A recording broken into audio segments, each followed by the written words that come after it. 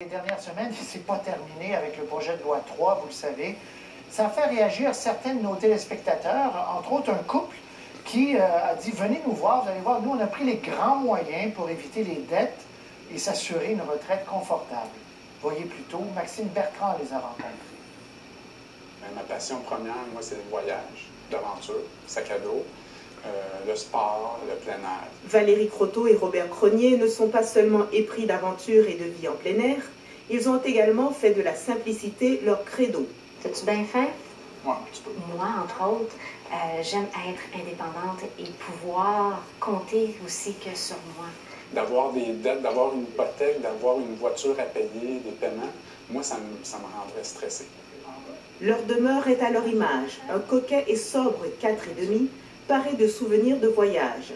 Des voyages qui leur ont permis de comprendre que l'essentiel n'est pas matériel. De ne pas vivre au-dessus de nos moyens. Robert est intervenant de centre jeunesse, Valérie est spécialiste des avantages sociaux.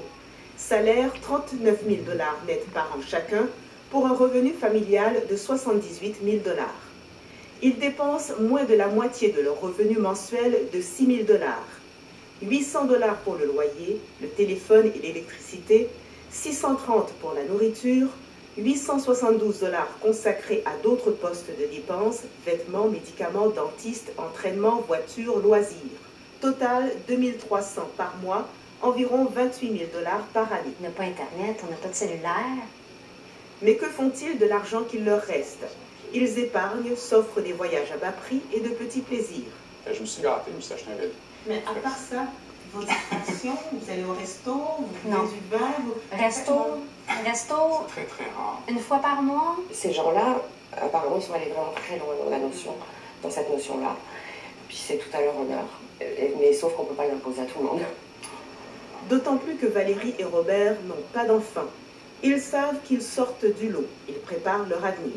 En ce moment, notre rythme de vie, il, il est comme si on était un petit peu à la retraite. Je ne me prive pas.